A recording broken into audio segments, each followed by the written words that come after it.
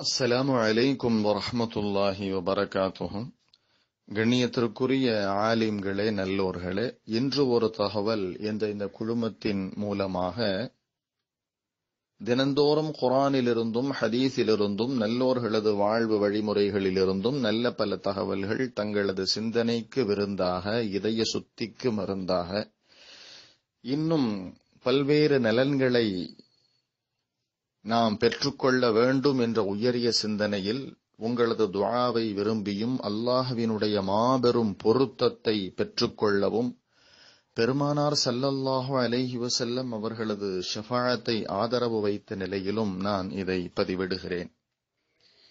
கண்ணியத்திற்குரிய நன்மக்களே ஆன்றோர்களே சான்றோர்களே ஒரு பள்ளிவாசலில் தொழுகை நேரம் முடிவு செய்யப்பட்டு அங்குள்ள முஅத்தின் இகாமத்து சொல்லிட அங்கிருக்கும் இமாம் பெருந்தகை தொழுகை நடத்துகிறார்கள். நாம் எல்லாம் பின்னால் என்று தொழுகிறோம். அல்ஹம்துலில்லா.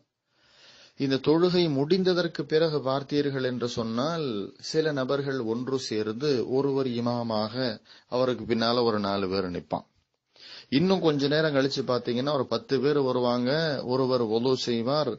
அங்க அவருக்கு பின்னால ஒரு நாலு பேர் நின்று தொழுவார். இத்தகைய ஒரு நிலையை நாம் பார்க்கிறோம். அதே நேரத்தில் இவர்களிடத்தில் இப்படி இரண்டாவது ஜமாத்து செய்ய வேண்டாம் என்று நாம் சொன்னால் அங்கு சர்ச்சை செய்வதையும் பார்க்கிறோம். என்னங்க ஜமாத்து செய்யக்கூடாதுங்கிறீங்க? இமாம் ஜமாத்து நடத்தக்கூடாதுங்கிறீங்க? அப்படின்னு சொல்லி அவர்கள் சண்டைக்கு வரக்கூடிய ஒரு நிலையும் இருக்கிறது. தமிழகத்திலே பல்வேறு பள்ளிவாசல்களில் இந்த சூழ்நிலை இருக்கிறது. அல்லாஹுடைய கிருபையிலே பல்வேறு பள்ளிவாசல்களில் இத்தகைய ஒரு நிலை தடுக்கப்பட்டு பல பள்ளிகளில் அமைதி நிலவுகிற ஒரு நிலையும் இருக்கிறது. அல்லாஹுடைய மாபெரும் கிருபை நான் இமாமத்து செய்யக்கூடிய பள்ளியில் ஆரம்பத்தில் இத்தகைய ஒரு நிலை இருந்தது. பிறகு மக்களுக்கு ஹதீசுகளை ஆயத்துக்களை விளக்கி அதிலிருந்து மக்கள் படிப்பினை பெற்றிருக்கிறார்கள் யாரும் இதுபோன்று செய்வதில்லை. கண்ணியத்திற்குரிய சகோதர பெரியோர்களே இரண்டாவது ஜமாத்து நடத்துவதை ஹனஃபி மதஹப் விரும்பவில்லை. ஏனென்று சொன்னால் அங்கு ஒற்றுமை சிதைக்கப்படுகிறது ஒற்றுமை கலைக்கப்படுகிறது.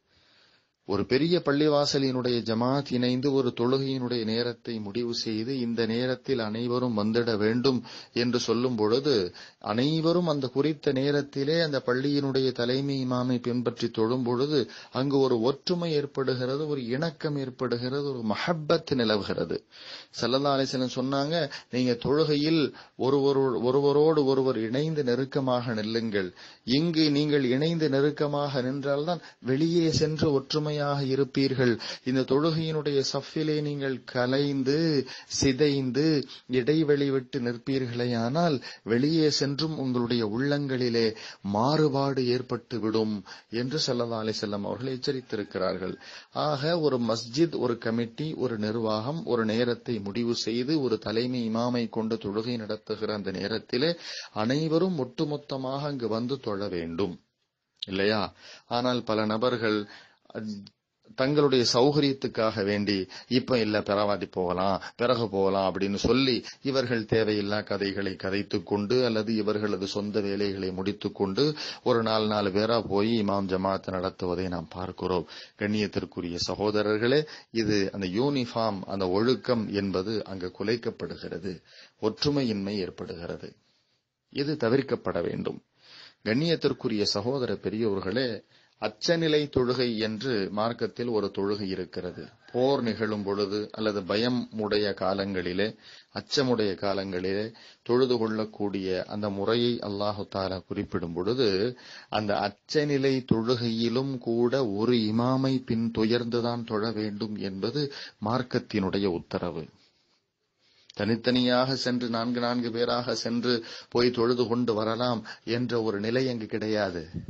அச்சநிலை தொழுகையிலும் கூட ஒரு இமாமை பின் தொடர்ந்துதான் நீங்கள் தொட வேண்டும் அதிலே அதிலேயே நீங்கள் உங்களது பாதுகாப்பையும் ஏற்படுத்தி கொள்ள வேண்டும் என்ற ரீதியில் அல்லாஹ் தன் திருமறையில் பேசுகிறான் وَإِذَا كُنْتَ فِيهِمْ فَأَقَمْتَ لَهُمُ الصَّلَاةَ فَلْتَقُمْ طَائِفَةٌ مِّنْهُمْ مَعَكَ وَلْيَأْخُذُوا أَسْلِحَتَهُمْ நபியே முஸ்லிம்களிடையே நீங்கள் இருக்கும்போது போர் நிலையில் அவர்களுக்கு நீங்கள் தொழ வைத்தீர்களேயானால் அவர்களில் ஒரு குழுவினர் தங்களுடைய ஆயுதங்களை ஏந்திக் கொண்டு உம்மோடு நின்று கொள்ள வேண்டும். பிறகு அவர்கள் சுஜூது செய்து முடித்துவிட்டால் பின்னால் சென்று விலகிச் சென்றிட வேண்டும். தொழாமல் இருக்கும் மற்றொரு குழுவினர் உம்மோடு வந்து தொட வேண்டும். அத்தோடு அவர்களும் முன்னெச்சரிக்கையோடு தம்முடைய ஆயுதங்களை ஏந்திக் கொண்டிருக்க வேண்டும். ஏனென்றால் உங்கள் ஆயுதங்களிலும் பொருள்களிலும் நீங்கள் கவனக்குறைவாக இருந்து விடுவீர்களேயானால் உங்கள் மீது ஒரேடியாக திடீர் தாக்குதல் நடத்த நிராகரிப்பவர்கள் தக்க தருணத்தை ஆவலோடு எதிர்பார்த்து கொண்டிருக்கிறார்கள். இருந்தாலும் மழையின் காரணமாக உங்களுக்கு சிரமம் ஏற்படின் அல்லது நீங்கள் நோயுற்றவர்களாக இருப்பீர்களேயானால் ஆயுதங்களை கீழே வைத்து விடுவதில் உங்கள் மீது தவறேதுமில்லை. ஆனாலும் எச்சரிக்கையாக இருங்கள். நிச்சயமாக அல்லாஹ் நிராகரிப்பவர்களுக்கு இழிவுபடுத்துகிற வேதனையை தயார் செய்து வைத்திருக்கிறான். ஃபைதா சஜதோ ஃபல் யகூனோ மின் வராஇக்கும் ولتأتي طائفة أخرى لم يصلوا فليصلوا معك وليأخذوا حذرهم وأسلحتهم. ود الذين كفروا لو تغفلون عن أسلحتكم وأمتعتكم فيميلون عليكم ميلة واحدة. ولا جناح عليكم إن كان بكم مضى من مطر أو كنتم مرضى أو تضعوا أسلحتكم. وخذوا حذركم إن الله أعد للكافرين عذابا مهينا அல்லாஹு தாலா சூரத்து நிசால நூற்றி இரண்டாம் அத்தியாயத்தின் மூலமாக இதை பேசுகிறார் கண்ணியத்திற்குரிய சகோதரர்களே அச்சநிலை தொழுகை எப்படி தொழ வேண்டும் என்பது இங்கு விளக்கப்படுகிறது இதற்கு பல அறிவிப்புகள் மூலமாக அந்த தொழுகை எப்படி தொழுவது என்பது ஹதீசுகளிலே பதிவு செய்யப்பட்டிருக்கிறது. புகாரியில் வருகிறது முஸ்லிமில் வருகிறது அபோதாவுதில் இருக்கிறது நசாயில் இருக்கிறது. சஹல் ரதி அல்லாஹானுஹு அவர்கள் அறிவிக்கிறார்கள் பெருமானார் செல்லல்லா அலி செல்லம் அவர்களோடு ஒரு பிரிவினர் தொழுவதற்காக அணியாக நின்றனர். மற்றொரு பிரிவினர் எதிரிகளுக்கு நேராக காவலில் நிற்பார்கள். சல்லல்லா அலி செல்லம் அவர்கள் தம்மோடு இருந்தவர்களுக்கு ஒரு ரக்காத் தொலை வச்சாங்க. பிறகு சல்லல்லா அலி செல்லம் அவர்கள் எழும்பி நின்றார்கள். மாமுமாக பின்னால் நின்றவர்கள் தனியாக மீதி ஒரு ரக்காத்தை தொழுத பிறகு எதிரிகளின் பக்கம் எழுந்து செல்வார்கள். பிறகு மற்ற பிரிவினர் வந்தனர். அவர்களுக்கு சல்லல்லா அலிஸ்லாம் ஒரு ரக்கா தொலை வச்சாங்க.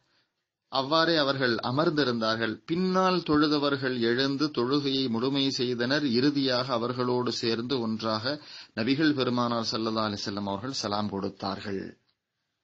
இது போல இன்னும் சில ஹதீஸ்கள் இருக்குது. இதான் அந்த அச்சநிலை தொழுகை. இப்ப பாருங்க அச்சகாலங்கள்ல போர் நடக்கக்கூடிய இடம். தன்னுடைய இருப்பிடத்தை விட்டு தொலைவாக தான் நடக்கும் போர். அப்ப தொலைவாக நடக்கிறது என்று சொன்னால் அப்போ முசாஃபிருக்குரிய சட்டம் அங்க வந்துடும் நான்கு ரக்காத்து தொழுகை ரெண்டு ரக்காத்தான் தொழணும் இமாம் இரண்டு ரக்காத்து தொட வைப்பார். முதல் ரக்காத்துல அந்த போர்ப்படைகளிலிருந்து உதாரணமாக அந்த போர்படைகள நூறு பேர். உதாரணமாக அந்த போர்படையிலே நூறு நபர்கள் இருக்கிறார்கள் என்று சொன்னால் ஒரு இமாம் தொழ வைக்க அந்த முதல் ஐம்பது படைகள் வந்து அந்த இமாமுக்கு பின்னால் வந்து ஒரு ரக்காத்தை தொழுவார்கள் சுஜூது முடித்து கியாமுக்கு வரும்போது எழும்பி வந்துருவாங்க. எதிரிகளை நோக்கி ஆயுதங்களை ஏந்தி கொண்டு நிற்பார்கள். பிறகு இரண்டாவது உள்ள ஐம்பது பேர்களும் வந்து அந்த இமாமுக்கு பின்னால் வந்து இமாமோடு இரண்டாவது ரக்காத்தை தொழுவார்கள். சரியா? தொழுது முடித்ததற்கு பிறகு முதல் பிரிவினர் வந்து தனியாக தன்னுடைய ஒரு ரக்காத்தை தொழுது சலாம் கொடுத்துக் கொள்ளுவார்கள். பிறகு இரண்டாவதாக ஏற்கனவே தொழுதவர்கள் தங்களுடைய ஒரு ரக்காத்தை பூர்த்தி செய்து சலாம் கொடுத்துக் கொள்வார்கள். இப்படியாக அந்த தொழுகை முறை என்பது நடப்பில் இருந்ததை நாம் பார்க்கிறோம். அப்ப பாருங்க இவ்வளவு பெரிய இக்கட்டான நிலையில கூட ரசூலுல்லாய் சல்லா அலி செல்லம் அவர்கள் நீங்க தனித்தனியா பத்து பத்து பேரா போய் தொழுதுட்டு வாங்க ஒரு அஞ்சஞ்சு பேரா போய் தனித்தனியா தொழுதுட்டு வாங்க ஒரு ஒரு இமாமத்து செய்யுங்க ஒரு பத்து பேர் தொழுகுங்க என்றெல்லாம் சொல்லல. இந்த நிலையிலும் ஒரு இமாமை பின்தொடர்ந்துதான் தொழ வேண்டும் என்பதை ரசூலுல்லாஹி சல்லாஹ் அலி வசல்லம் அவர்கள் நமக்கு இங்கு சொல்லித் தருகிறார்கள். என்று சொன்னால் ஒரு பெரிய மஸ்ஜிதுல ஜமாத்து முடிஞ்சதுக்கு பிறகு ஒரு பத்து பேர் நின்று தொழுகிறது அப்படிங்கிறது இது எந்த விதத்துல நியாயம்? அப்படின்னா அவுகாத்து சலா தொழுகையினுடைய அந்த அட்டவணையில வந்து ஃபஜ்ரு தொழுகை முதல் ஜமாத் இப்போ நடக்கும் ரெண்டாவது ஜமாத் இப்போ நடக்கும் மூணாவது ஜமாத் இப்போ நடக்கும் அப்படின்னு சொல்லி ஃபஜ்ரு தொழுகை அஞ்சு முறை நடக்கும்னு சொல்லி எழுதி போட வேண்டியதான் லொஹர் தொழுக அதுபோல அஞ்சு ஆறு நடக்கணும் எழுதி போட வேண்டியதுதான். இதா ஒற்றுமை இதான் இணக்கம். இல்லை இமாம் ஜமாத் ஏற்படுத்தப்பட்டது. அனைவரும் ஒற்றுமையாக இருந்து செயல்பட வேண்டும். ஒரு இணக்கத்தோடு இருந்திட வேண்டும் என்று. ஆனால் இன்று சில நபர்கள் இப்படி செய்வதன் காரணமாக பிரிவுகளை ஏற்படுத்தி கொண்டு குளிர் காயக்கூடிய ஒரு நிலை. அல்லாஹ் நம்மை பாதுகாக்க வேண்டும். மஹல்லாவில் நடைபெறுகிற ஜமாத்துக்கு கால நேரத்தோடு வந்து இணைந்து வேலைகள் இருக்கத்தான் செய்யும் அதை முன்பின்னாக ஆக்கி கொண்டு வர வேண்டும். சரி இப்ப நீங்க கேட்கலாம் இப்படி இரண்டாவது ஜமாத்தை நடத்தவே கூடாதா? அப்படின்னா இரண்டாவது ஜமாத்தை நடத்துவது சரியல்ல ஒற்றுமை சிதைவு ஏற்படும் ஹனஃபி மதஹபில் அனுமதி இல்லை என்பதுதான் முடிவு. அதே நேரத்திலே ரயில் நிலையங்கள் பஸ் நிலையங்களுக்கு அருகே இருக்கக்கூடிய மஸ்ஜித் அந்த மஸ்ஜிதிலே முசாஃபிர்கள் வந்து தொடக்கூடிய ஒரு நிலை. இந்த முசாஃபிர்கள் இரண்டாவது ஜமாத் நடத்தி கொள்ள அனுமதி இருக்கிறது. ஏன்னா அவங்க முசாஃபிர் அவங்க பிரயாணி.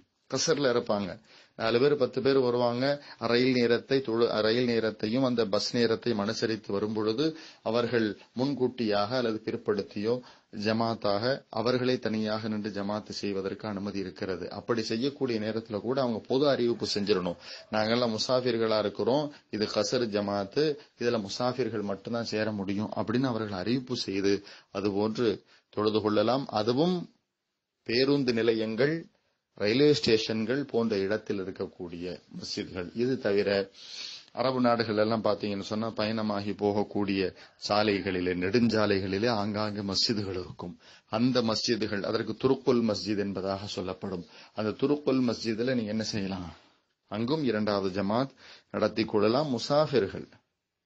இது தவிர முக்கியமா அந்த ஊர்வாசியா இருக்கிறவங்க வந்துட்டு அந்த முக்கியமாக நடக்கக்கூடிய ஜமாத்துல தான் சேர்ந்து நின்று தொழுவோம் அதனால நம்ம இஷ்டத்துக்கு வர்றது போறது அப்படின்னு இல்லை. அதற்கென்று ஒரு ஒழுக்கத்தை நபி அவர்கள் கற்பித்திருக்கிறார்கள். அத்தகைய ஒழுக்கத்தை பேணி வாழக்கூடியவர்களாக அல்லாஹ் என்னையும் உங்களையும் ஆக்குவானாக. வாஹர் தவானா அனில் அஹமதுல்லாஹி ரபில் ஆலமீன்.